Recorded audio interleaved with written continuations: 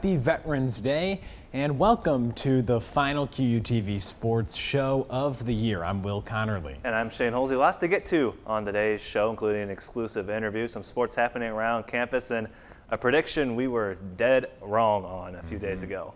Yeah, but first, Shane, we're going to talk about women's soccer. And the final scrimmage of the fall occurred last Sunday, and it didn't disappoint.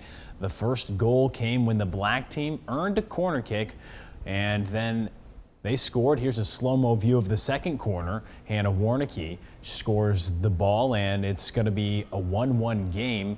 The yellow team and the gold team, they went back and forth, but look at the view right here on Hannah Warnicki's header. It was right on the goal, and the whole ball does cross the line, that goal line technology. It's a 1-1 game, but with six minutes to go in the second, Grace Hilbing executes the game winner right there. It proved to be the game winner in a breakaway goal, gets rewarded with a good finish and composure in the box right there. Take another look as Hilbing beats the goalkeeper, and there you have it. A fall of soccer scrimmages is complete for the women's soccer team, and the sights are set on the 2021 campaign when the Hawks begin the GLVC schedule against Maryville in late February.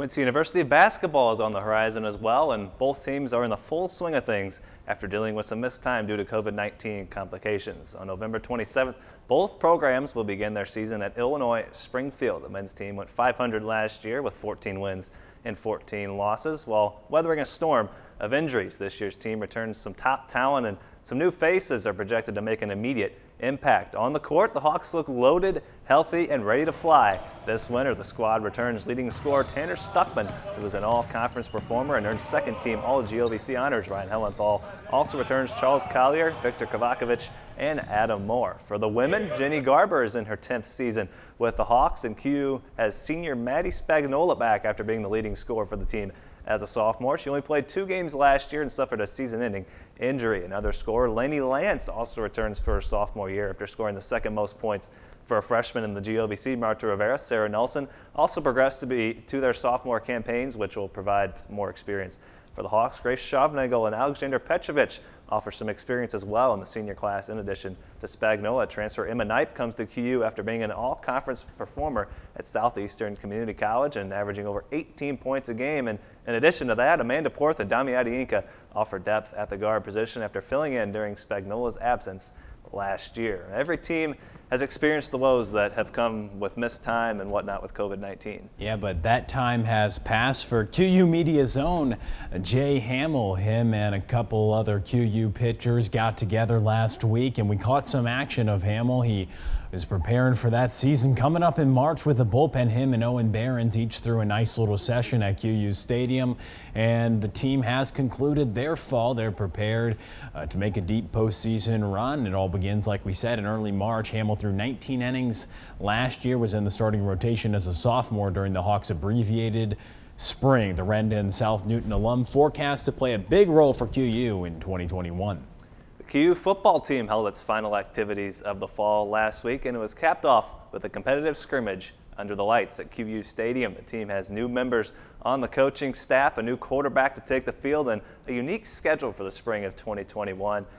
We have head coach Gary Bass on next segment, and we'll highlight the Hawks football fall and look forward to what he expects from the team this spring. We'll also discuss how the coaching and recruiting grind never stops, how these students, student athletes will have, have to have a no breaks mentality as well as they take their finals and head home for an extended break to prepare for the season. Coming up,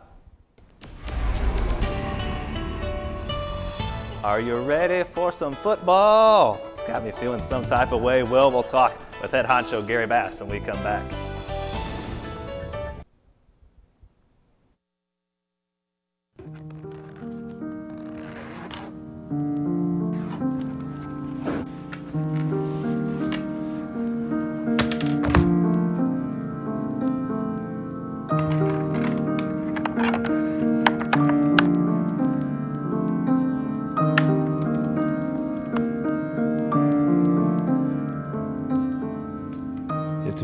Cue for you to do what you love.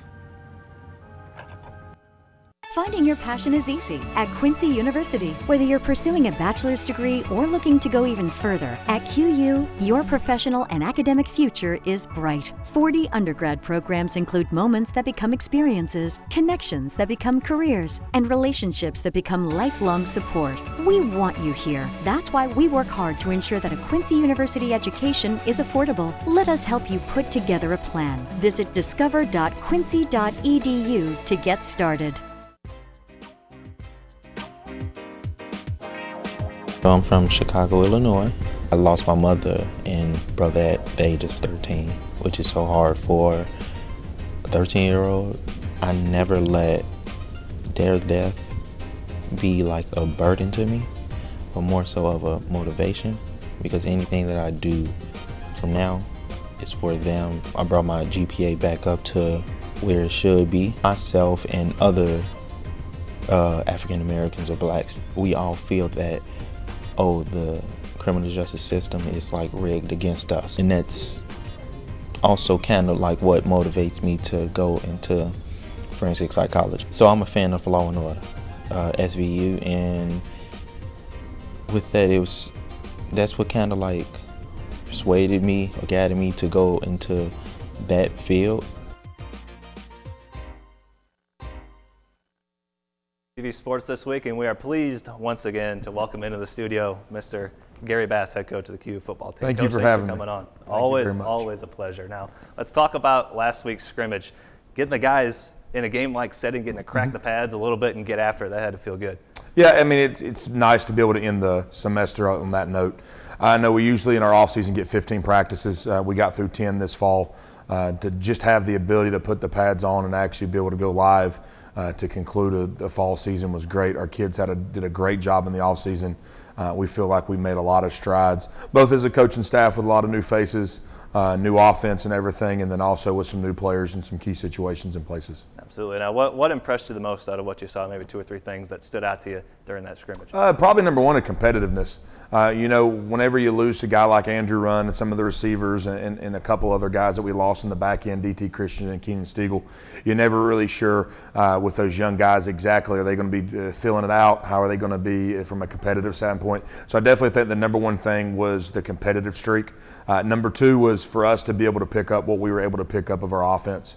Uh, we still got a long way to go offensively with a new offense getting put in in 10 practices. But for us to be able to make the strides we did offensively, I think that was huge. So I'd say those are definitely the two biggest things. Absolutely, all great things to see. Now, shifting gears a little Mm-hmm. bit, you were recently featured in the Quincy Herald-Whig's 20 Under 40 series. Yes, I am under 40, believe it or not, without all the gray hair. If you haven't gotten a chance to check it out, I highly recommend it. Great series. Now, just briefly, just kind of talk about what that was like and what it means to, to be a part of that series. Well, the funny thing is, I, I get a phone call about it probably two months ago, and I thought it was a joke. I thought someone was messing with me. I didn't really know a whole lot about it. Uh, I know some people had talked to me about it before, um, but then whenever it came out and I got called about it, I kind of thought someone was pulling pulling a prank on me or something. But I mean, it was really awesome to see. Um, that people recognize what we're trying to do. I told our players, I told our coaches, it's not an award for me, it's an award for our program, it's an award for them, uh, it's an award for this university and what we're trying to accomplish. So, yeah, my name's on it, but as far as I'm concerned, it's QU football and the university. And one topic of conversation in that article was how you kind of balance everything. The football coach, you're working 60, 70 hour days a week sometimes during a football season, so that, that balancing act can be tough. So, for those who aren't privy to that information, how do you balance? How do you perform that kind of balancing act? I have the greatest wife on the planet. One, uh, I think when me and her got married, knowing the profession I'm in, her being as independent as she is is awesome because she knows how much I care about what I do in my profession. And, and you know, the cool thing is my two children do as well. I mean, to have Lila and have Jackson and have her around uh, as much as I can, uh, I think is huge because, I mean, unfortunately, we, we live in a society now where there's a lot of parents that aren't together. And I know there's a lot of our guys that it's good for them to see me be a father, see me be a husband, and see that, hey, you know what, you can have a career, uh, you can still be a good family man, and, still be able to have fun too. So it's, it's very interesting. It's not easy, but uh, we get it done. It's always awesome to have that. We talk about teams having a supporting cast. You have a great supporting cast of your own. And another thing that you talked about in that article was who has influenced you the most. You mentioned two people: your father and your high school football coach. Just kind of elaborate on that, how they kind of helped you. Well, I definitely think my father would be number one. Me and him are really close. We talk all the time, uh, even now. Uh, I probably talked to him two or three times. In fact, usually I talk to him in the morning whenever I come on come into work. So, uh, I mean, he instilled that work ethic, that mentality, um, the core values that I live live by as a, as a coach, and everything that we're about as a program was huge. Um, my faith is all because of him. Me being the type of family man I am, I am is because of him. My success in football in a lot of rights has been because of him, um, him getting me started in it. Um, but I, I, can't thank him enough for that. Um, outside of that, my offensive line coach from high school, Carson Gowan, uh, was unbelievable. Just instilling the work ethic, the mental toughness, the things that were going to take place. Because I'll be honest with you, when I was a, a freshman in, in, high school, I remember trying to quit, and I remember him looking at me going, "I know I'm not letting it happen." And it's funny because had he just allowed me to do this and, and just not continued, I wouldn't be sitting here right now. So I have a lot to, to thank him for from that standpoint. Absolutely. And you also mentioned your first coaching job out of college, coaching for McDowell High School mm-hmm. in North Carolina. And you mentioned how that kind of helped you develop your coaching philosophy, if you will. So, what is your coaching philosophy? How did that come about? I think, first and foremost, I think people, I use this adage all the time people don't care how much you know until they know how much you care.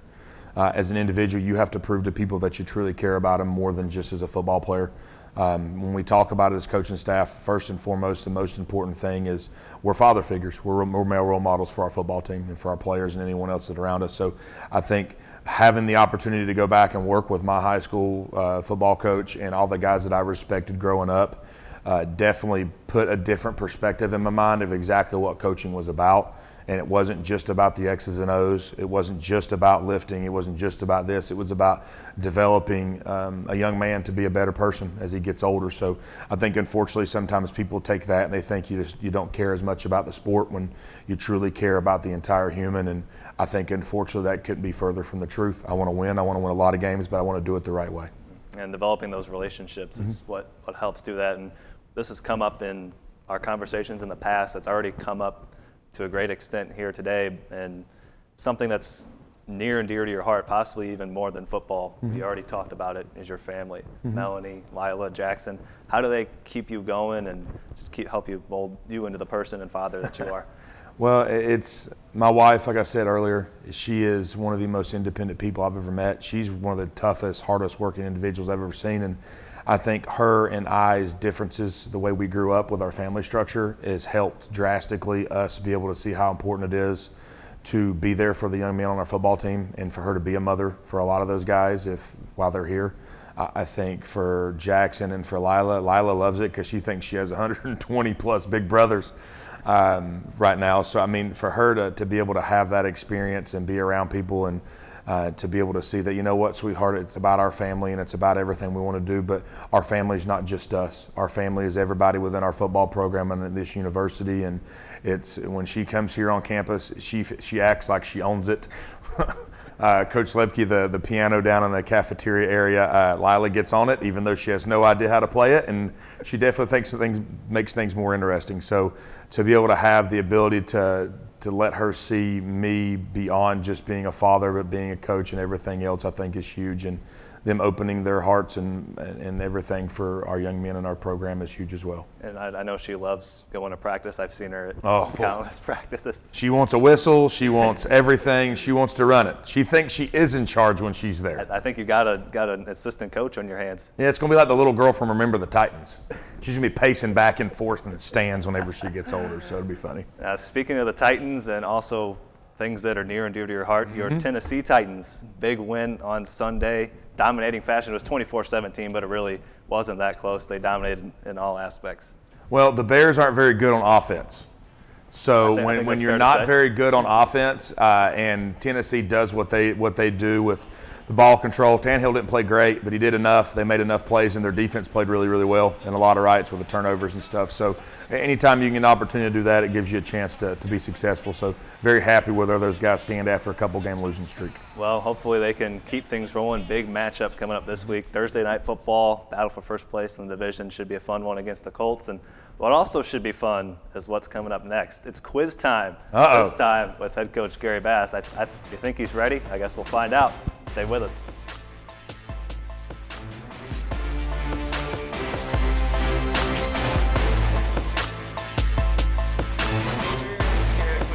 Um, exercise science, human performance, and basically, that is going to set me up to get certified um, in strength and conditioning uh, and personal training. So ultimately, what I want to do after college is put my personal training career off to the side and um, join the military. For this upcoming summer, I have the opportunity to join uh, the platoon leaders course. And basically what this is, is uh, for the Marine Corps, it is officer candidate school. Um, it's a 10 week program in uh, Quantico, Virginia. And if I get accepted, I will uh, leave on June 1st and I will train there for 10 weeks up until August 10th. My initial uh, physical standards, and that consists of a three mile timed run, um, two minutes to perform as many uh, pull ups as I can, and two minutes to perform as many sit ups as I can.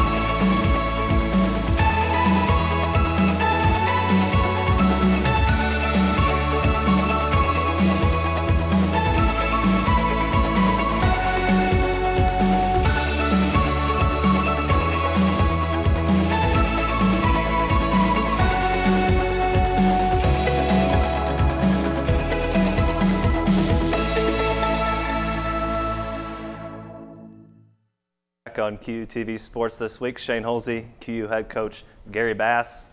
Now, coach, put on your thinking cap. Oh boy, I'm in trouble. Quiz time. Coach Samuel Thomas of women's soccer got one and a half points last week. We were kind of generous. We could have, he could have had one, but we were a little generous to him. So I think he can beat that. Put mark. me on the spot. We'll see what happens. Alrighty, let's get it rolling. While you're a coach at Missouri Southern State, the offense broke three school records, including the most points in a single game. How many points was that? 72. Very close. 71. 68. Ah, no. That was Lincoln, I think. I think it was at Lincoln. Southwest Southwest Baptist. October 22nd, 2012, outscored them 35-7 in, In the second, half. Yep. I remember that one. All righty. Question two. Will, you think we can give that to him? All right, we'll, we'll give him half a point for that one. Half a point within four. Half a Yeah. point. In a 2014 game against Southwest Baptist, again, QU running back Chris Harris set school and conference records for yards and touchdowns in a game. He had one heck of a season. How many yards and touchdowns did Six he have? touchdowns. 275 yards rushing, I think.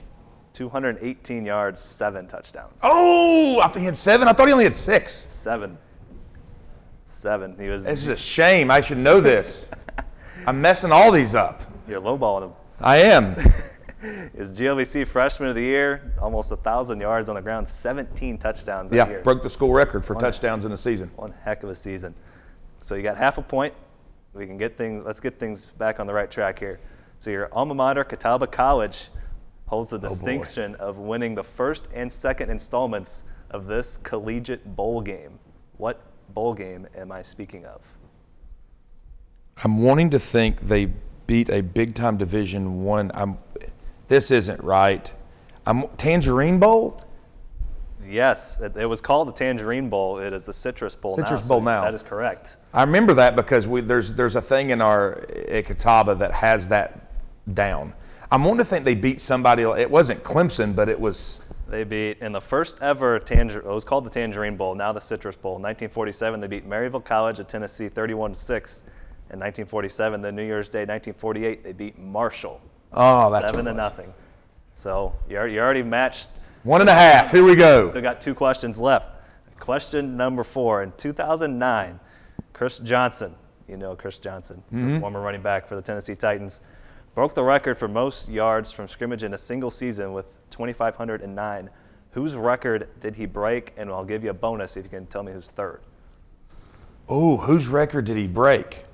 Um, in a single season, I'm going to go with Eric Dickerson. It's the right team, not the right player. Walter Payton. Marshall Faulk. Marshall Faulk lead? Yeah, I would have never got that one. 2,429 yards from scrimmage. Can you tell me who's third? Oh God, it's got to be Adrian Peterson or Emmitt Smith. It's a wild guess. Probably wrong again. Christian McCaffrey. Last year. Oh yeah, I would have 2019. never. I don't. I, yeah, I would have not gotten it if it's anybody recent. 2,392 yards. Now, if you can pull this one out, I will be very impressed. As I was trying to come up with some questions, of course, your last name's Bass, and as I was fishing for some questions, I reeled this one in. Largemouth variety. So, what is the world record for heaviest largemouth bass ever caught? Oh God, the heaviest. The heaviest ever. This is probably going to be so off. It's unbelievable. Um, 57 and a half pounds. Uh, little, That's little high. Way too high. It's probably high. like 38. 22 pounds, 4 ounces. Yeah, you're, I'm you're, you're not even optimistic. Yeah. So No I'm- chance. Like I'm like not even close. You got to deduct points for that one. We'll keep, we'll keep you at one half. No, no deducting points here. So, a man named George Perry, 1932. This was in southern Georgia. And actually, fun fact the heaviest largemouth bass ever caught in North Carolina. Take a wild guess as to how heavy that was. 17 and a half. Very close. 15 pounds, 14 ounces. So, one and a half. Those weren't easy oh, questions. No, I should have got all the ones about us. Hey, That's awful. hey, that's all I'm right. sorry, Chris.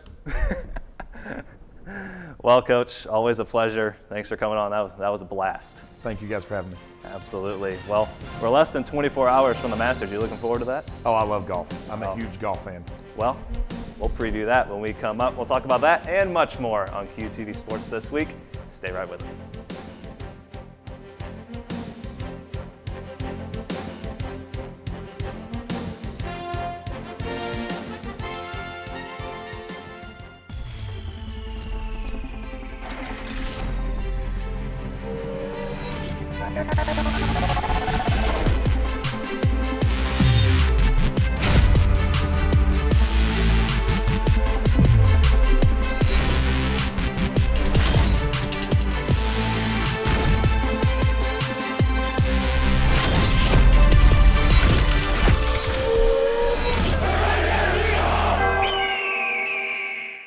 An oncologist is a cancer doctor. An MRI is a magnetic resonance imaging. Neuroblastoma is a cancer that mostly affects kids. Do the kids in your grade know these words? Probably not. Why do you? I was diagnosed with acute lymphoblastic leukemia, but I don't have cancer anymore. And so, Wait a minute, are you cancer free? yeah.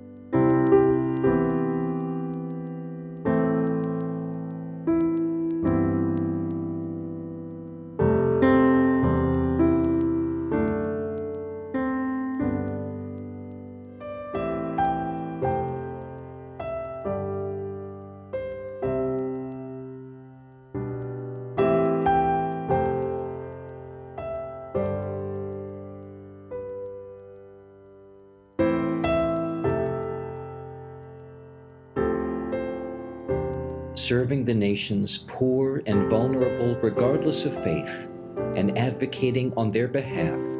We are Catholic Charities. Wanted to take a quick moment to highlight some news on campus this week. Francis Hall was closed after flooding from a broken sprinkler. Water damaged the central part of all four floors, even getting into the basement. Students are allowed back in, but repair work will take several weeks. The Masters will look a little bit different this year. Not only is it November instead of April, but there will be no patrons in attendance, which means we won't hear the roars we're used to hearing. Several of the world's best, including reigning champion Tiger Woods, spoke about the different feel to this year's tournament. it's not how I, I wanted to retain the the jacket for this long. Um, obviously, that this has been an unprecedented circumstance we're all dealing with, and uh, it's been incredible to, to have the have the jacket and to, to have it, you know, around the house and to, uh, to share with, with, with people. Um, but to have it this long, um, it's, it's not the way I, I wanted to have it. You know, I wanted to, you know, earn it back in, in April, but obviously we, we didn't have that. But we have an opportunity to play this week, which, you know, early in the year, we didn't think we'd have this opportunity. So uh, we're all very fortunate to be able, be able to compete. Uh, and, you know, tonight and, well, this whole day is awfully special because it, I may never have the opportunity to take the jacket off property again. I've always liked sort of doing my own thing and trying to stay as low key as possible. You know, sometimes the way I've played over the years, it, you know, I haven't, you know, that hasn't happened because you know I've won some tournaments and you know I, have you know I've I've been on some pretty good runs at times. Um, but yeah, I don't mind this. This is this is nice. It's you know it feels like everything this year. It's more subdued. It's more relaxed. It's sort of just that's what that's the feel for me anyway. Just the fans. it's um, it's I've played it twice. I think on the Sunday before, where there's there's nobody here. Um, maybe in like 18 or 17, something like that, and it's weird because you can see almost every hole when you're standing on one tee. You can just look out and see everything, and um, you're not used to that. I thought it was weird at the time, and then you know you get there now on the first tee and you can see everything. You're not going to hear the roars that you're used to hearing. Um, so that'll be that'll be quite different. But at the same time, there's plenty of leaderboards out there. You can figure out what's going on. It's just I, I think that's what makes this place so exciting is to hear those roars. And when you hear them, it doesn't matter where you are on the golf course. You almost can tell by the roar who the player is, who or what they did, and and hole it's coming from, which I think is pretty unique.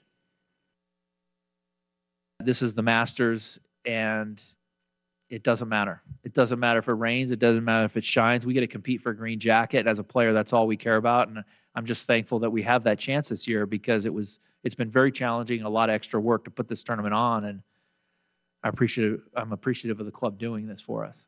Tournament gets underway Thursday morning. ESPN will have the coverage of the first two rounds Thursday and Friday afternoons, beginning noon Central, and CBS will handle the Saturday the Saturday and Sunday coverage at noon on Saturday at 9 a.m. on Sunday. Shane, I know you're a pretty big golf guy. Love the Masters. Love the yeah, Masters. Yeah, you do. So who's gonna don that green jacket this well, weekend? Well, these these predictions are always almost virtually impossible with with these kind of tournaments. The field is just it's just so deep, and I just I'll give you I'll give you four guys who I think will be if I picked a fantasy team, say for the Masters, these would be my four guys. Bryson DeChambeau hits the ball a country mile. Jon Rahm, Dustin Johnson, you know their epic battle they had earlier this year. They're always a lot of fun.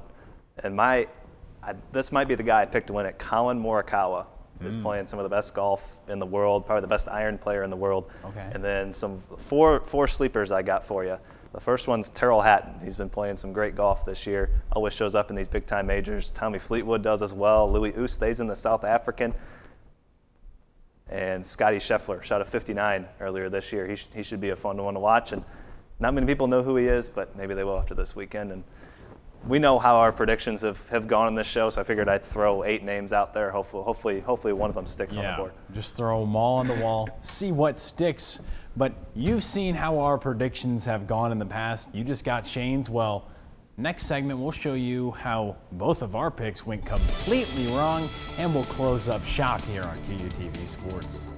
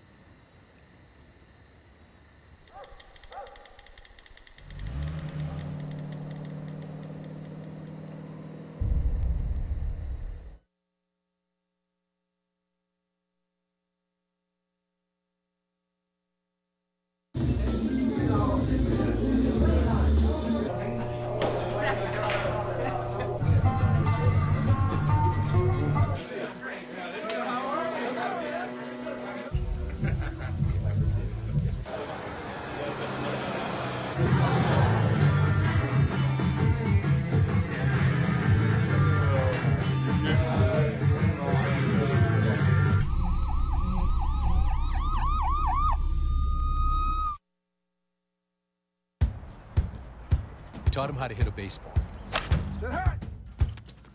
how to hit a receiver, the strike zone, the net. You taught him how to hit the upper corner. You even taught him how to hit the open man. But how much time have you spent teaching him what not to hit?